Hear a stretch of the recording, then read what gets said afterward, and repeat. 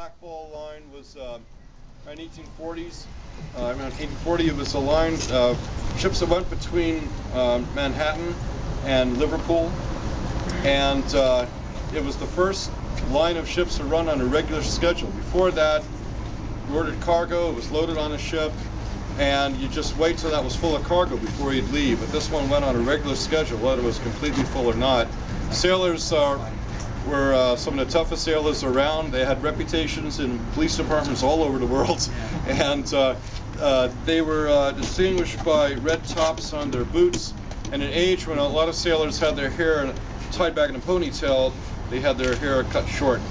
And uh, so it's called a black ball line. And I'll sing a line, and you sing, "To me way, hey, hey, to Rio." Try that. To me way, hey, hey, to Rio. Then I'll sing another line, and you sing, "Hurrah for the black ball line."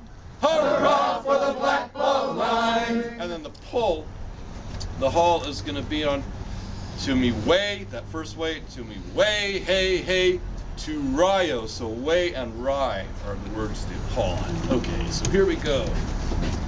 I serve me time on the black ball line. To me way, hey, black ball line, I serve me time. Hurrah for the black ball line. Oh, black ball ships are good and true. To me way, hey, hey, to Rio. They are the ships for me and you. Hurrah for the black ball line. Just take a trip to Liverpool. To me way, hey, hey, Rio. Liverpool, that Yankee school. Hurrah for the black ball line. Oh, Yankee sailors, you'll see there. To me way, hey, hey, hurrah. With red top boots and short cut hair. Hurrah for the black ball line. There's Liverpool Pat with his tarpaulin hat.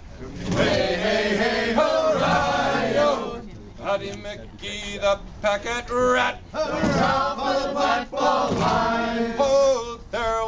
once a black Bolshevik. Anyway, hey, hey, hurrah, At 14 knots an hour could clip. Hurrah for the black ball line!